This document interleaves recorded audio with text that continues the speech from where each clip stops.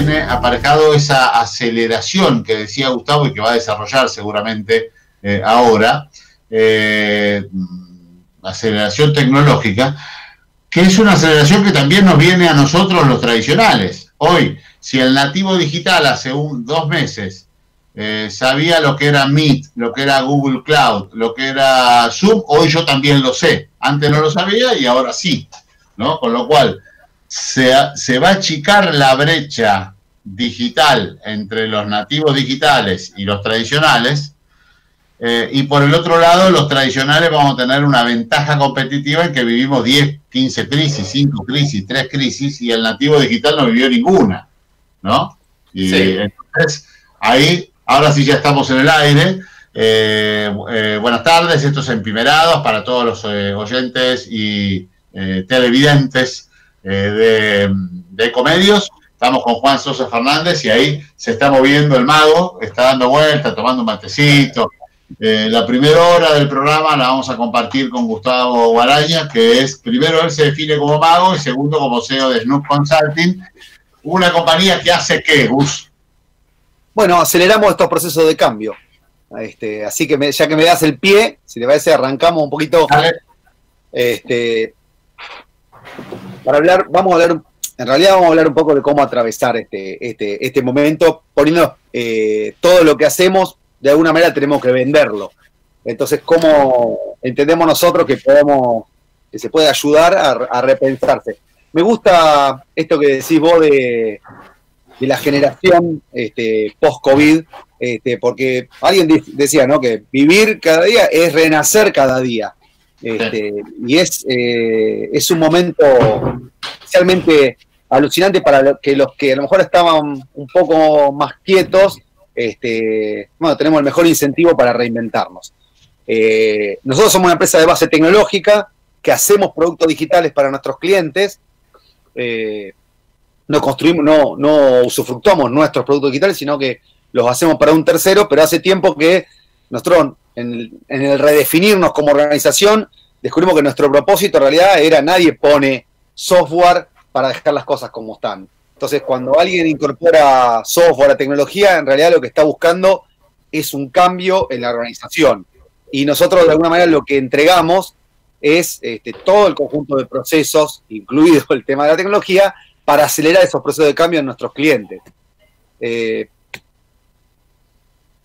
nada, voy a, muy breve, tenemos justo casi 20 años en el mercado, no voy a hacer autobombo, para el que quiera averiguar, pone www.slumconsulting.com y ahí nos conoce un poco más. Así que eh, un poquito esta la, la, agenda del día. Este, vamos a hablar del contexto que nos trae el COVID, por qué esta crisis es diferente del resto, cómo está el estado del e-commerce en Argentina, que ahí voy a aprovechar para invitarlo a, Federico Aón, que es mi coequiper desde hace 20 años. Este, o sea que aprovecho, somos una empresa de tecnología un poco rara, porque casi la mitad de la gente tiene este, habíamos medido hace un tiempo, tenía más de cinco años en la empresa, en un rubro que cada persona cambia, la industria cambia, el treinta y pico por ciento cambia por año. Este, y ¿A, qué le atribuís, que pasó eso? A que trabajamos para que se nos pase. Desde el momento cero que empezamos la empresa fue el proceso clave, nosotros definimos cuatro o cinco procesos clave. Este, uno era el tema del desarrollo y la retención de, de la gente porque queríamos ser una empresa de innovación, pero no en el sentido de llevar la última innovación en ese momento, sino de una empresa que eh, tratamos nosotros de innovar permanentemente en lo que hacemos. Cualquiera que saque la foto de qué hace Snoop, le va a salir movida porque más o menos en un periodo de tres años, ahora que sea más rápido, la oferta nuestra cambia al 100%. Seguimos manteniendo lo que hacíamos antes, pero es mantenerlo. No vamos a las conversaciones que tenemos este año con nuestros clientes no tienen nada que ver con las que teníamos el año pasado ni con el anterior y es independiente de la crisis. Nosotros entendemos que la crisis es un estado, es, un dato, este, es el estado natural.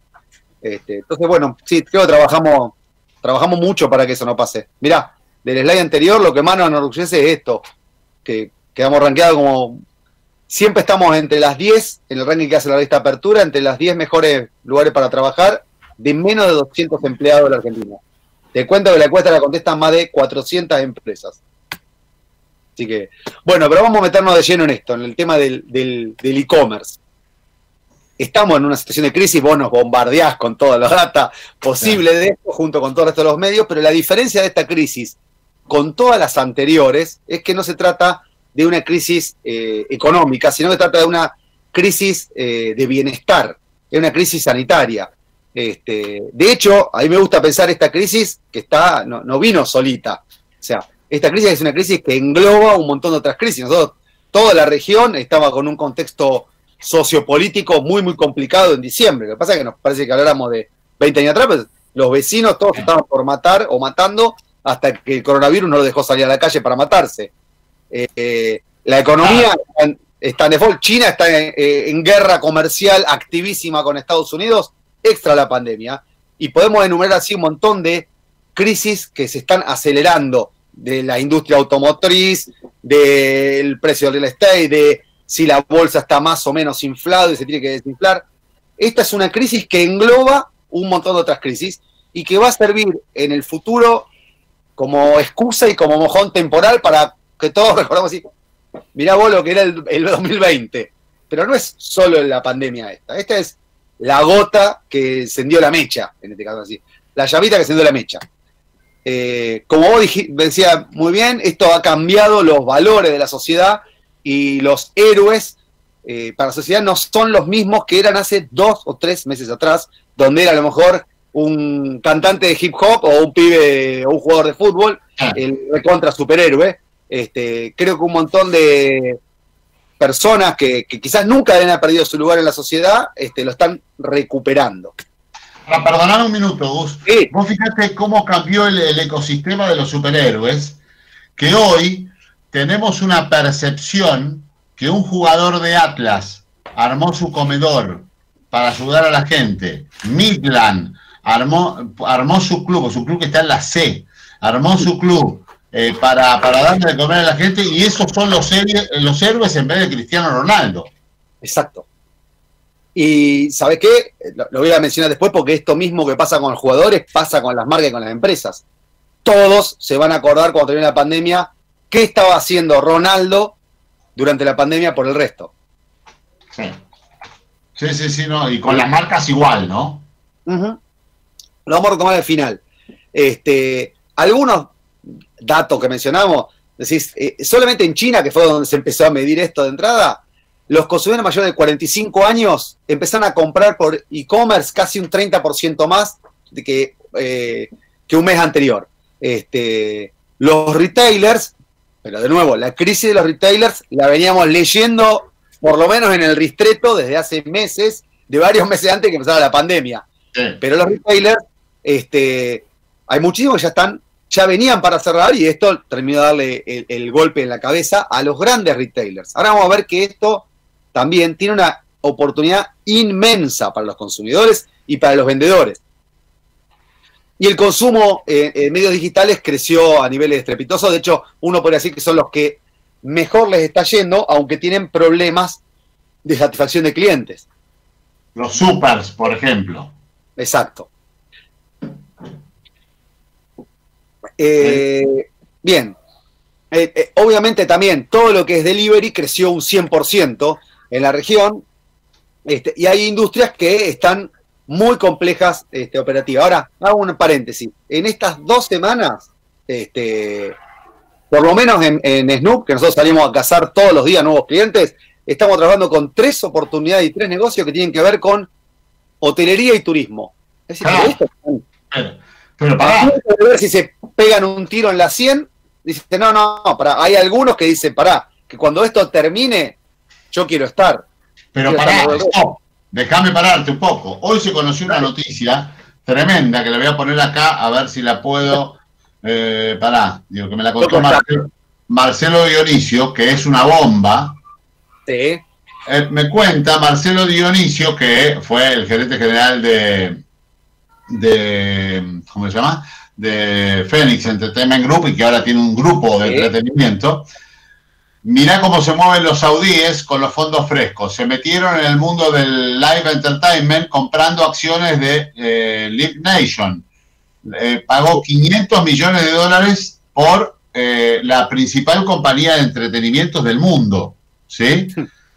la mayor productora de espectáculos del mundo, el rey Salman bin Abdulaziz invirtió 500 palos verdes para comprar el 5,7%. No es que te compró la mitad de la compañía. O sea, 500 palos verdes para un 5% de Live Nation Entertainment, ¿no? Atención, porque una productora de entretenimiento donde vos imaginás que no va a tener espectáculos por un tiempo, recibe una inversión de 500 palos verdes por el 5%, ¿no? De los Y hoy... También hay... Sí, perdón, Juan, y mandé hoy en el Ristrefón, y lo voy a mandar mañana en el Ristreto, lo que están haciendo en el aeropuerto de Carrasco, de Montevideo. Van a generar un mega autocine aprovechando el estacionamiento. Perdón, Juan, decías. No, no, no, que también eh, el tema de lo que están analizando con los youtubers, los tiktokers, eh, con, bueno, eh, experiencias de nicho, hay unas plataformas que, se están lanzando para eventos internacionales, pagos, pero todo por streaming. Entonces, por ejemplo, vos, Claudio Itéfano, le, le gusta a tu esposa el cantante X que está dentro de esa plataforma y las empresas de entretenimiento te van a decir, bueno, te sacudo 100 mil dólares los, tres temas para una cena romántica que vos le querés regalar, si lo podés pagar, buenísimo, vas a estar ahí, pero conferencias internacionales, recitales, todo cerrado con pago de tickets, pero todo en streaming, buscando una afluencia de público de todos lados y eso, los youtubers, los tiktokers, los eh, instagramers, eh, bueno, después buscar una, serie de personas también de LinkedIn para hacer eventos de nicho, tal vez para 200 personas, para 10 o para 20, y después con, con chat rooms, con salas privadas como para hacer un ida y vuelta eh, de, la especialidad que tenga cada persona. Entonces, mira cómo están pensando, entonces los tipos que, vos estás comentando, que invierten en una empresa de entretenimiento, en paralelo están generando plataformas, porque no quiere decir que los que invierten en entretenimiento es porque van a tener entretenimientos presenciales. También están viendo el mundo online que se masificó absolutamente. Bueno, a mí me ha pasado algo parecido. Eh, yo, ahora que hago encuentros digitales, va, primero, estoy pensando seriamente si algún día voy a volver a la radio. Yo creo, yo creo que como viene la cosa acá, estoy en pijama, tomando mate. No sé si me vas a volver a ver en la radio. Le digo a los barbazos ah, que se olviden de mí por un tiempo. Le digo a Gerardo, el operador, eh, que no me va a ver la cara, que se va a perder los sanguchitos de, cañón y la media luna del abuelo. me parece que ya empieza a aparecer un nuevo, eh, un nuevo escenario donde yo, por ejemplo, los almuerzos reales, y yo no sé si voy a tener la misma cantidad que antes. Si con los virtuales la paso bomba. No sé, Gus, cómo lo estás viendo vos. Yo no sé si voy a volver, no volver a la radio. Yo no sé si voy a volver a algún lado. Gustavo. Bueno, eh, definitivamente la forma en que nosotros mercadeamos, conectamos a los clientes, generamos las relaciones y demás, este, va a cambiar. Este, la forma en que se vinculan las marcas. Eh, pero de nuevo, todo esto lo único que está haciendo en este momento no es una... Para muchos puede parecer disruptivo, pero si uno lo mira un poquito más lejos, lo que estamos viendo es que eh, tendencias que a lo mejor se esperaban que fueran masivas de acá a lo mejor a cinco años, de golpe se aceleraron y subieron a medio, medio mercado en dos meses. Eh, sí, pero Gustavo, ¿Sabes que eh, el otro día compartimos una mesa de ayuda con Gustavo para empresarios? Eh, justo pues, sin saber, el uno del otro estábamos los dos asesorando a un grupo de empresarios. Bueno, eh, y vos te das cuenta que, Claudio, que las, las personas están diciendo, sí, yo tengo problemas de posicionamiento, tengo problemas de procesos, tengo problemas de ventas, tengo problemas de tecnología, no estaban hablando del, crédito, pero ¿Qué pasa? La tendencia del, mundo nos llevaba en esa autopista del norte, estaba marcado. Que, no, que no la hayamos tomado o que, o que en lugar de subirnos al tren en la estación, nos subimos con el tren bala en funcionamiento y nos arranca un brazo, ese es otro problema. Pero, eh, realmente la construcción de, ese pasado que no hicimos, bueno, ahora lo queremos hacer en 30 días y como estamos en Empimerados, y es un programa para pymes, como siempre me gusta pymes empoderadas, eh, las pymes lo sufrimos más. ¿Por qué? Porque no vamos a cambiar la cultura empresarial en 30 días ni todo. O sea, que, podemos adoptar herramientas, adoptar algún proceso, adoptar alguna metodología. Ahora, eh, bueno, hay que transitar y como saqué una frase que le robé al ristreto, cuando el pescador se queda en el puerto, se queda eh, armando y reparando las redes, ¿viste? Es así, hay que darle para adelante. Sí, yo te digo, hoy estuve hablando vos con un competidor tuyo, más chiquito, ¿no?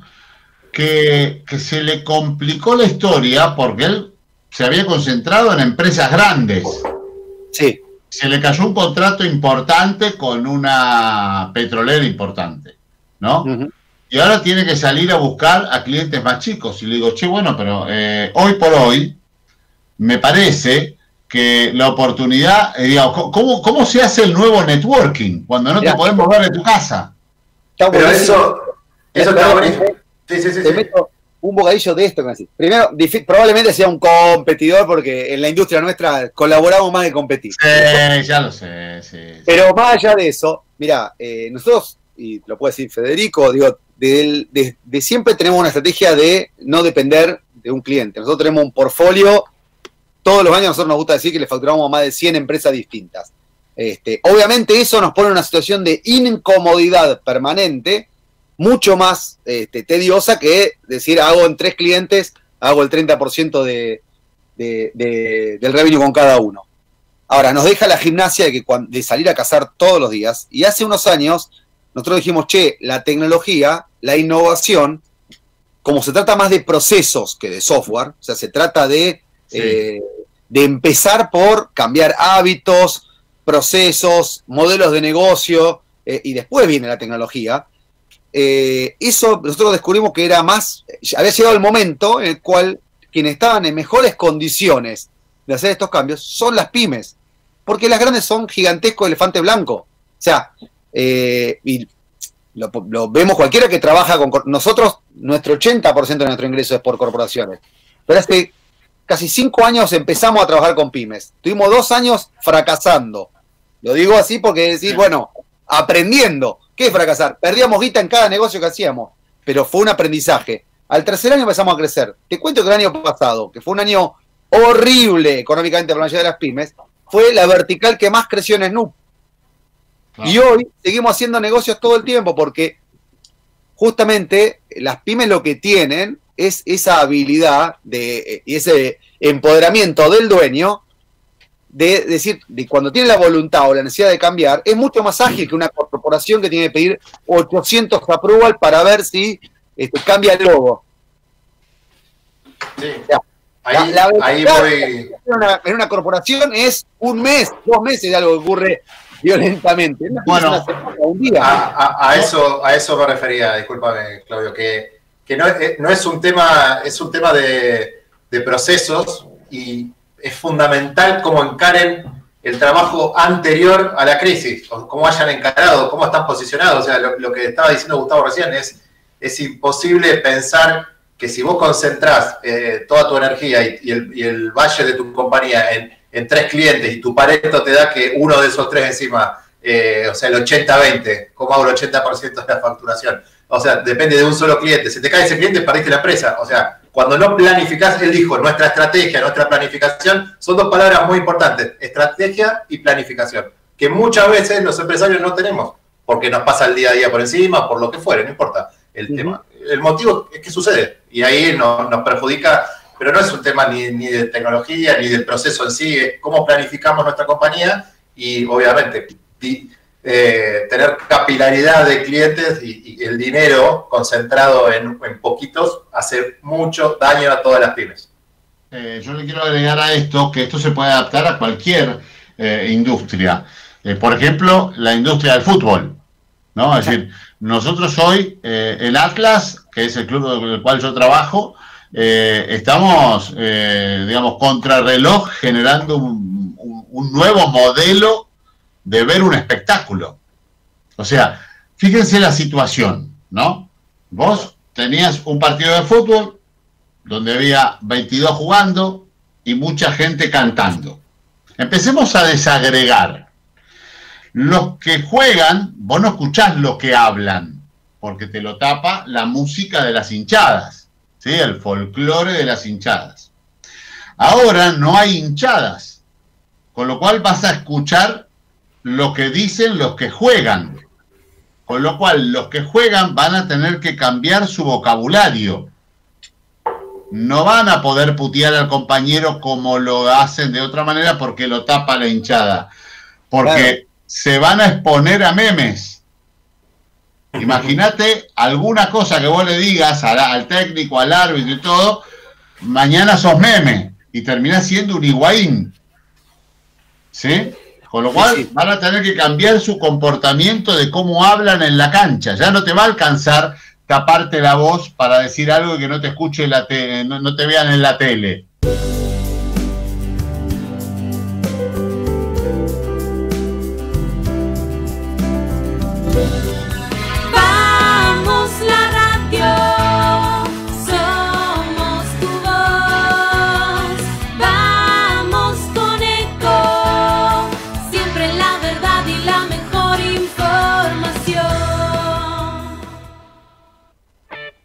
Digital, la primera plataforma online para cotizar y comprar un plan médico con cobertura nacional para vos y tu familia.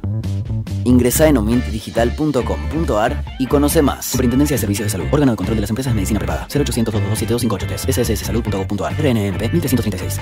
El aeropuerto, el Palomar es nuestra casa, dicen los chicos de Flybondi, eh, que siguen poniendo el lomo para que no se cierre el aeropuerto. Volvemos un poquito al pasado. En la semana del 23 de abril, sí, se conoció que la concesionaria del Aeropuerto Internacional del Palomar había solicitado su cierre. El 28 de abril, ahí nomás, la gente de Flybond y los empleados comenzaron una campaña de comunicación muy fuerte en redes sociales, en LinkedIn, en TikTok, en Facebook, en Twitter, en Instagram, para visibilizar lo importante que era que permanezca abierto el aeropuerto del Palomar. Bueno, Flybondi es la ultra low cost más importante, la que más pegó fuerte en el último año, con muchos vuelos al interior del país, muchos vuelos al exterior también, y ahora, bueno, peleando para que no cierren el aeropuerto del Palomar que dicen mm, brinda más de mil puestos de trabajo. Omint Digital, la primera plataforma online para cotizar y comprar un plan médico con cobertura nacional para vos y tu familia. Ingresa en omintdigital.com.ar y conoce más. Superintendencia de Servicios de Salud. Órgano de control de las empresas de medicina prepaga. 0800 227 sssalud.gov.ar. RNMP 1336. El mejor gimnasio te espera. Elegí las clases que quieras. En un fit vamos a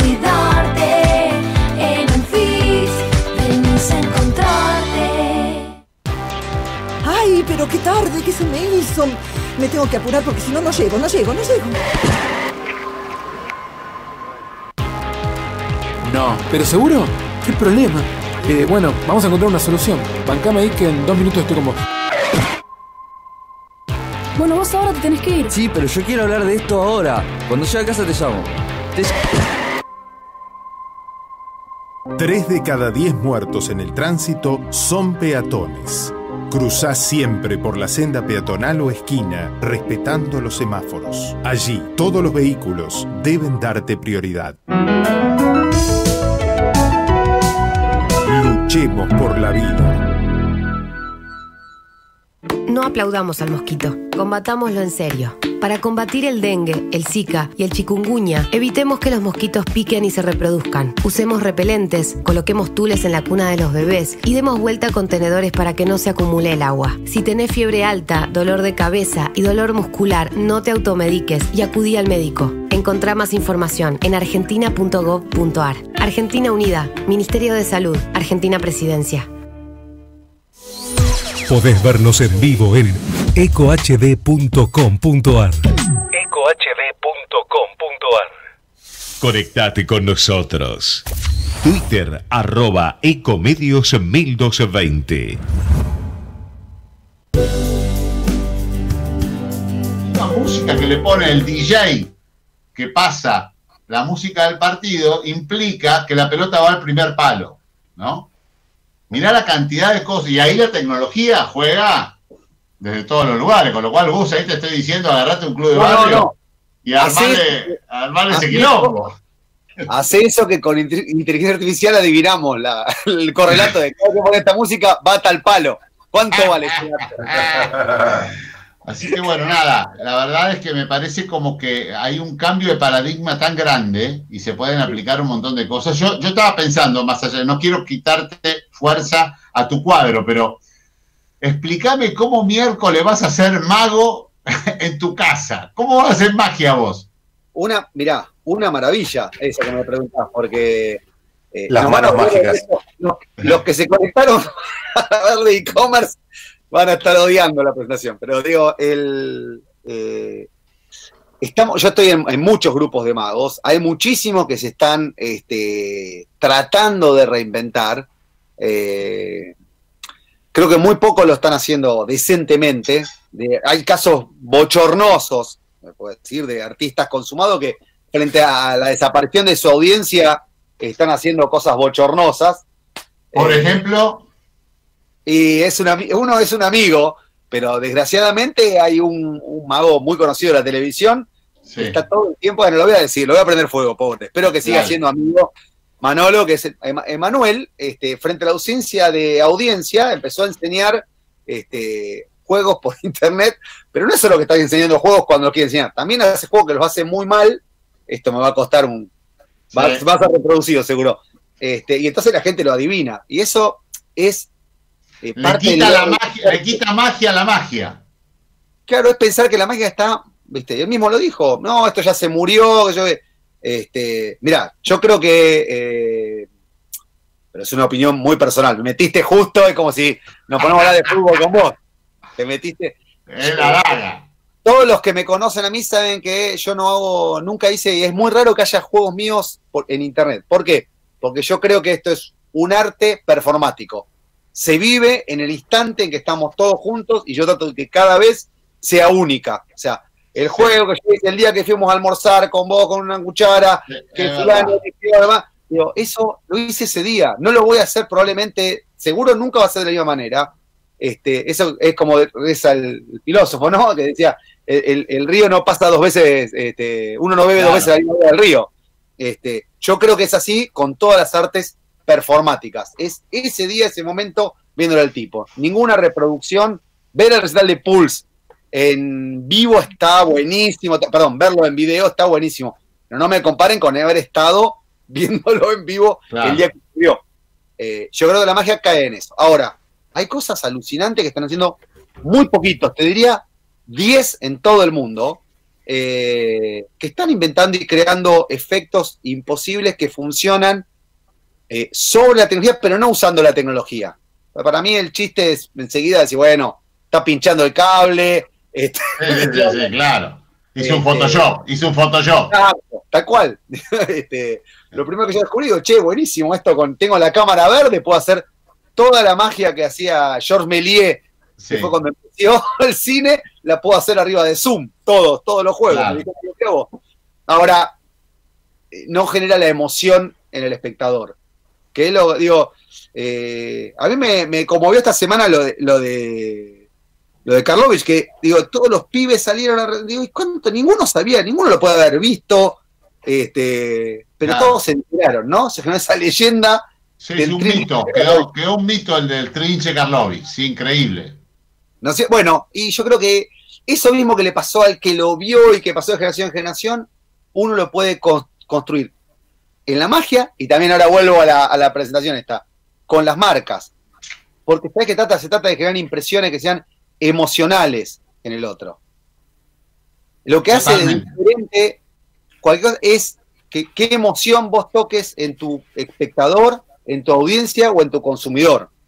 Por eso es muy, muy, muy importante eh, el tema de qué experiencia creamos en los clientes, o en los consumidores o en la audiencia.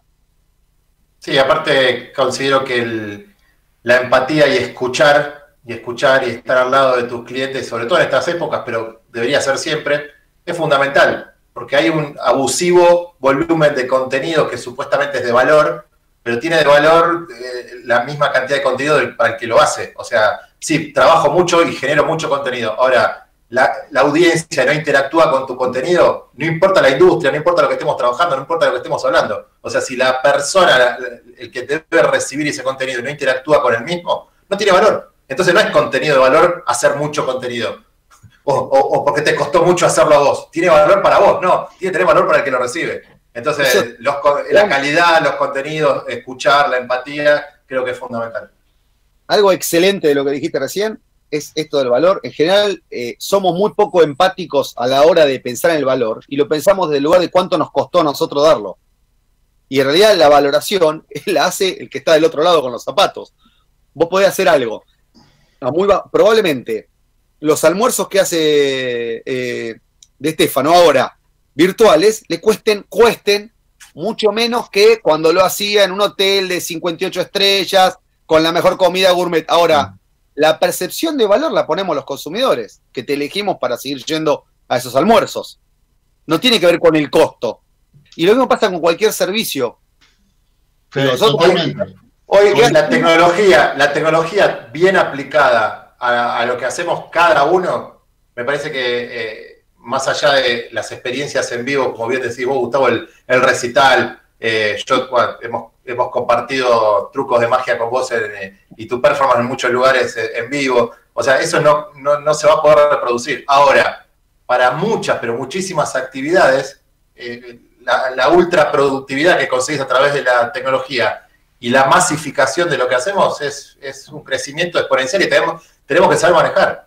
Hoy yo tuve un, llamado de una persona que me estaba en una reunión virtual y me dijo, me cayó así, ¿podemos reunir a tal hora? Sí, porque podía, porque si hubiese estado viajando en el auto, yendo a donde no fuere, para lo que yo hago y para mucha gente que trabaja a sí mismo, para sí mismo digo, eh, es terrible lo que, el alcance que puedes tener.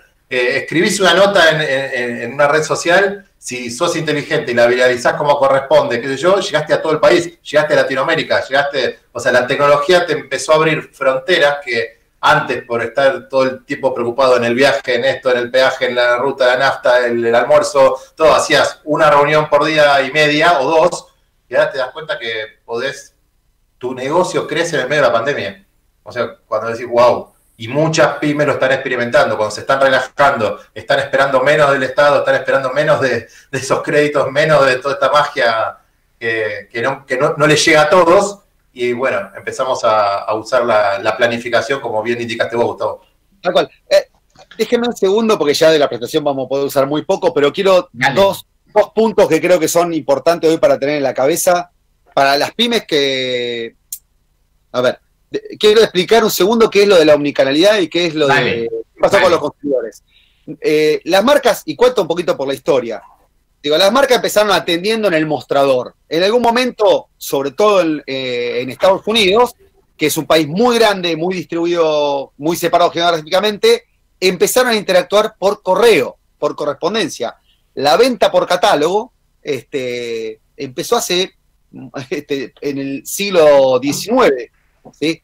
Eh, y, si no, ¿Y por qué lo comento esto? Porque ese mismo modelo eh, se digitalizó, pero no se transformó digitalmente. O sea, si miramos la mayor parte del e-commerce hasta hoy, es una venta por catálogo modernizada.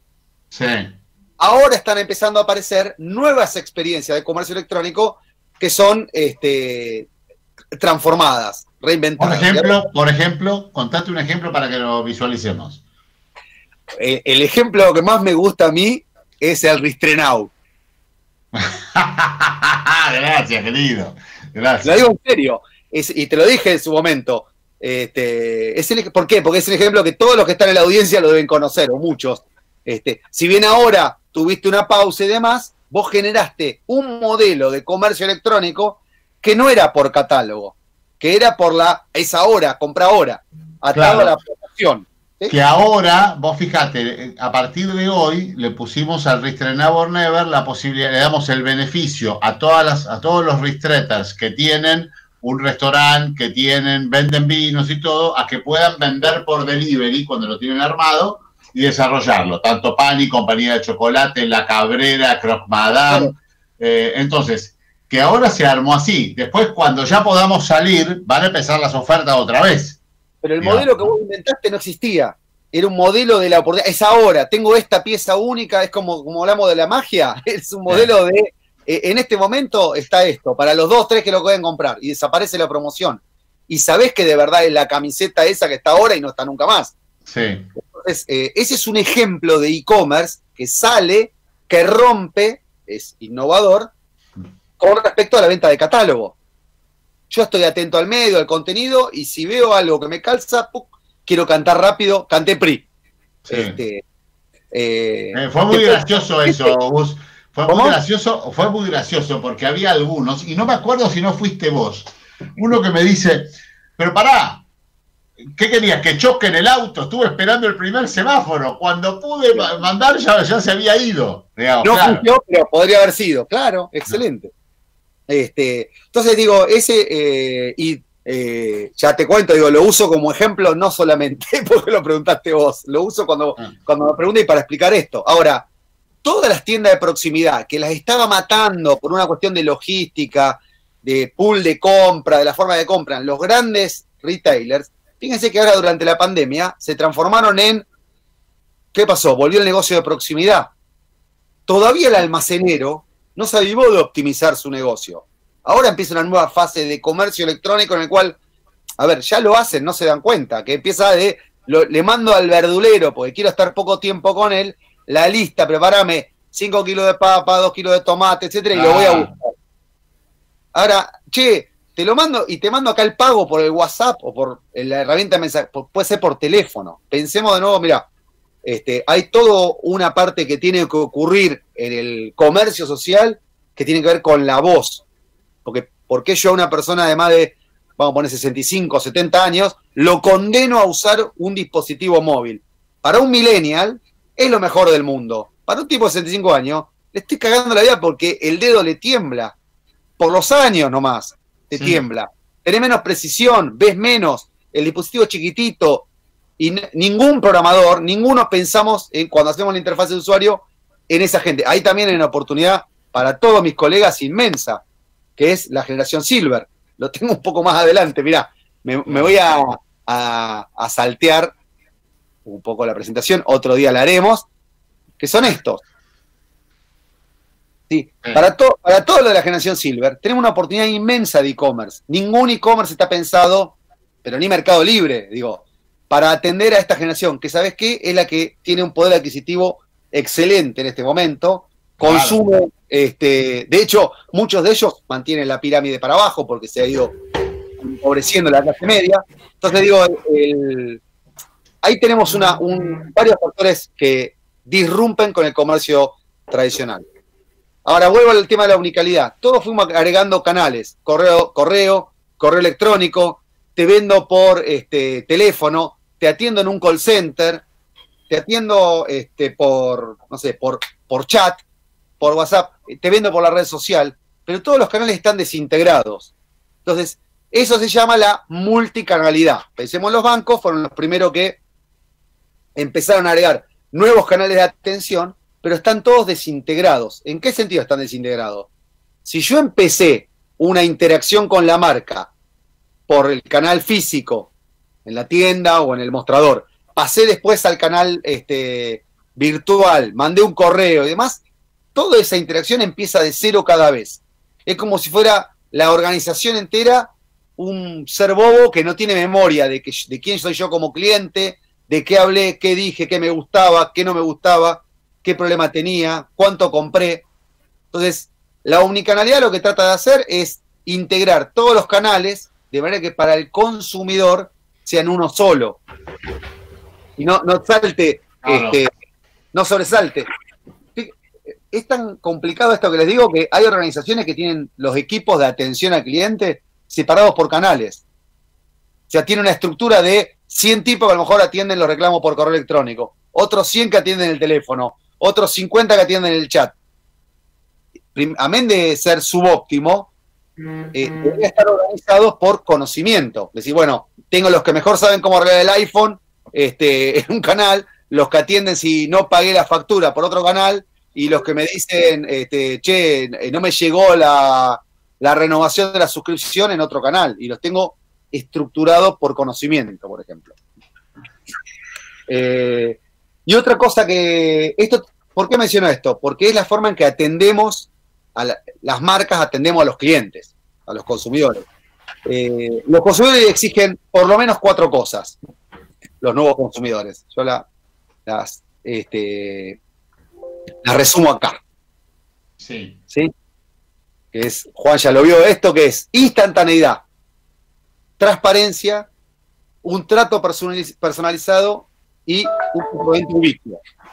Entonces, instantaneidad es algo que nos dio Internet, que, claro, lo esperaban los millennials, los centennials, los pandemials, pero la verdad es que hoy eh, todos nos vamos acostumbrando al bienestar, y así como no pensás el auto hoy sin el levantavidrio eléctrico, ninguno quiere hacer una compra y estar, decir, bueno, espere que en dos semanas le llegue a su pedido, más si es al supermercado. Bueno, ni hablar, ni hablar. Bien, lo siguiente que quieren es transparencia. La transparencia te la da este, un montón de cosas de la marca, pero aparte, fíjate, piense cada uno como consumidores, cada vez que hacen un reclamo de algo, este, a mí me tocó con eh, la TAM, cuando empezó el- la catástrofe esta, cambiar un montón de tickets aéreos que tenía y no me podían, no me pudieron dar un número de reclamo para hacerle el seguimiento. Me dieron un- tuve que pedir y me mandaron un mail, logré que alguien me mande un mail y es lo único que me quedó para algún día este, decir, mire, tenía unos pasajes comprados, me va a dejar viajar, si no que en el medio. Es la antitransparencia esa. ¿Qué es la transparencia? Bueno, en el slide tengo acá el ejemplo de Uber o de todos los autos, los Cabify, que vos estás viendo cómo está viniendo tu Exacto. conductor, quién es, o si pediste un paquete, en qué estado está el envío, Este, o tu reclamo. Mirá, se está resolviendo. Eh, uno puede anticiparse como marca también a lo que quiere el cliente antes de que, de que venga a pedir. Lo puede mantener informado del estado de algo, aunque dure meses. La personalización. Todos queremos, a ver, a ningún, hablamos de Centennial, Millennial, pero la verdad que lo que eh, tenemos en común en este momento la, la humanidad toda es que no queremos, ninguno queremos ser un número. Ninguno. Totalmente. Entonces, eh, vos sabés cuál es mi cuadro de fútbol, cuándo cumplo años, te mandas caf- bueno, y eso que me genera a mí un vínculo con la marca. Este, eh, digo, este, este nivel de personalización lo tiene, por ejemplo, y ahí digo la oportunidad, el almacenero de la esquina. El Claro. el almacenero ya sabe, lo único, lo único problema que tiene el tipo es que no tiene optimizado su negocio de logística. Porque el día que el tipo se avive, los almacenes se aviven, dice, no, no, pídanme, métame todos los pedidos, yo los preparo, este, estoy todo el tiempo ocupado armando los pedidos y entregándolos, hoy yo ya sé que si vos me pediste leche, sé que vos tomás leche descremada. Claro, pedímelo por WhatsApp. Pedímelo por WhatsApp. Y él, y él pone a su hijo que le haga el delivery. Y se terminó el problema. transacciona el doble. Mira, tenemos algunos ejemplos de pymes que ahora algunos de los, de los mayoristas, no de los mayoristas, perdón, de las grandes marcas de logística, el caso Coca-Cola y Quilmes está haciendo lo mismo, empezaron a habilitar soluciones este, para cercanía. Y nosotros estamos trabajando en algunas soluciones de estas para los comercios de cercanía. Y hay casos de que tipos que nunca en su vida habían hecho e-commerce vendieron 80 lucas en una semana. Claro. Ahora decís, che, cuando vas a poner un local, cualquier pyme, en el arquitecto te gastás 800 mil millones de mango en que la cortina sea de un tipo, me van a odiar los arquitectos, pero digo, gastamos un montón en eso, o en el plotear la camioneta y que la camioneta sea este, X, y no gastamos un mango a lo mejor en cómo vamos a atender los clientes. Mira vos, eh, acá me dice Gabriel Paradelo que a Sí. nuestro verdulero y a la fiambrería le compramos por WhatsApp desde hace varios meses. Está Claro. buenísimo eso. Obvio. Eh, y- Este- y, y acá pregunta, para que así te agarro antes que te vayas. Eduardo, Eduardo Martínez dice: ¿Cuál es la principal barrera y el principal acelerador que crees que se van a disparar con la nueva normalidad? Eh, el- el principal acelerador, ¿sabes qué va a ser? Que la nueva normalidad se vaya, se siga corriendo. O sea, conforme todos vayamos aceptando. Yo, para cambiar, te digo, lo primero que hice fue decir, bueno, ya está, esto vino para quedarse. Si en algún momento vuelve el mundo anterior, lo cual yo creo que sería casi una categoría de milagro, este, como dice el proverbio Irish, ya me preparé, para lo mejor no tengo que preparar, mejor me preparo para lo peor, que es que el peor caso, este, la cuarentena esta, dure 80 días, 90, 120 o el año que viene. Entonces, ese creo que es el mejor acelerador en este momento. Aceptar que la normalidad no va a volver a ser lo que era. Claro, El- todos queremos hacer, pero aparte de lo divertido, ahora me haces pensar, Gus. digamos, si vos me decís, hay mucha gente que está esperando que la nueva normalidad venga rápido. Y hay otros. Sí, no, te digo. ¿Eh? Es esta, la nueva normalidad. Es Claro, totalmente. Y hay otros que dicen "Che, que la, que la normalidad que ellos creen que, que, que va a volver a ser, tarde un montón. Así me das tiempo de poder organizarme para esta normalidad. este, fíjate lo que milagrosamente, o no sé si milagrosamente, nosotros, digo, los argentinos somos, este, lo único que tenemos bueno es que estamos acostumbrados a, a, bueno, esta es una crisis más, es una, es una crisis sanitaria, bueno, habrá que pasarla. Tenemos una capacidad de adaptación, resiliencia y demás, y creatividad envidiable por el resto. De, digo, no es casual que este, est- estemos atravesando un poquito mejor que el resto de los vecinos este, el estado actual. Hay que ver, viste, esta es una novela que se está escribiendo día a día, hay que ver qué pasa en un par de meses. Pero al, momento, che, este, eh, somos consecuencia también de, de todo lo que venimos, de todo lo que atravesamos siempre y que nos preparó para el cambio. La principal eh, motivo son, barreras son culturales, este, que no estén. ¿Por qué las pymes pueden cambiar más rápido que una grande? Porque el dueño, general, mira, los cambios son muy difíciles que vengan de abajo para arriba. Yo a todos les recomiendo un libro de Philip de Cotter que se llama Accelerate, acelerar, eh, que habla justamente de cómo acelerar los procesos de cambio en las organizaciones. Eh, pero la primera es, digo, vos tenés que tener un, un- un motivo para acelerar, un catalizador. Y después tiene que estar empoderado, tiene que bajar de arriba para abajo. Entonces, en una pyme es el dueño, los socios, los gerentes, los managers que empujan. Esto en una corpo es mucho más difícil. Che, mirá, eh, Gus, porque ya nos tenemos que ir en un ratito, pero eh, digamos, hay tres personas que dicen que están preguntando lo mismo que yo. El Dale. ubicuo, el ubicuo. Contacto, Los clientes quieren ¿qué quisiste poder- decir?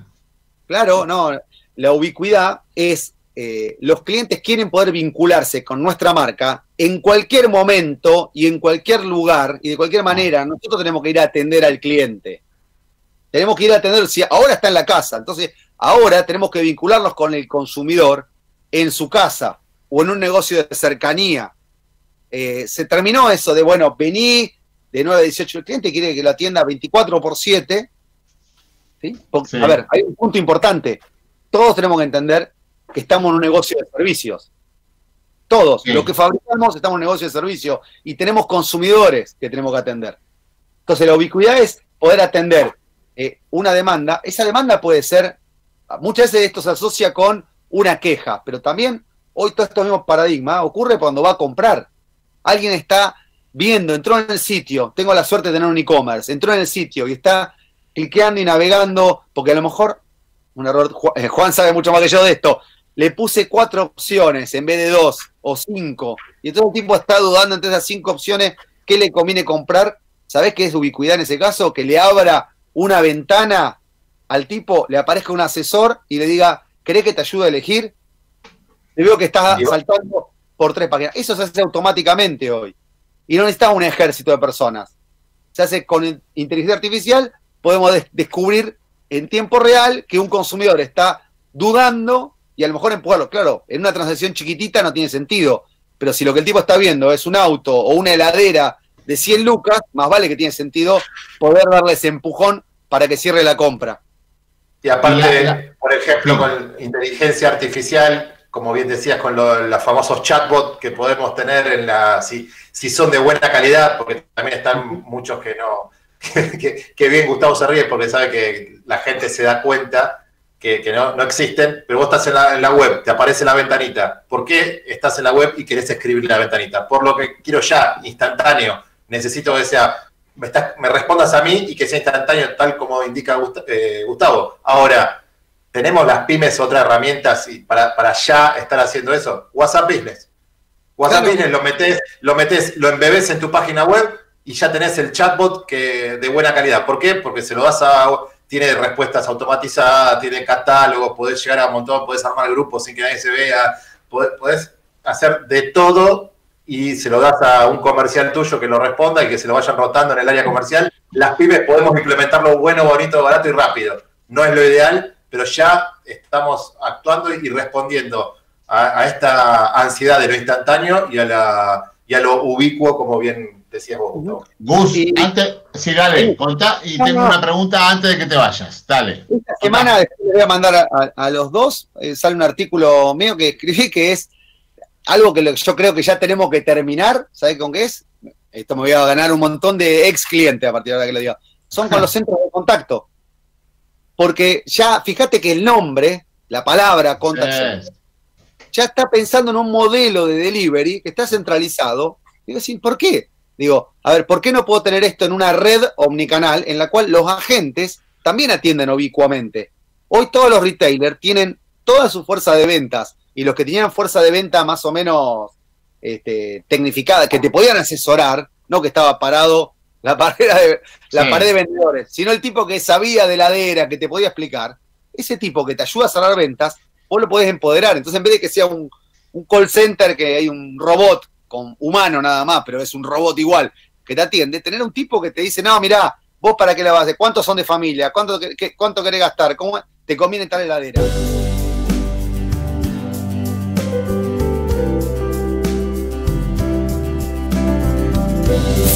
Desde Buenos Aires, transmite LRI 224, AM 1220, Ecomedios,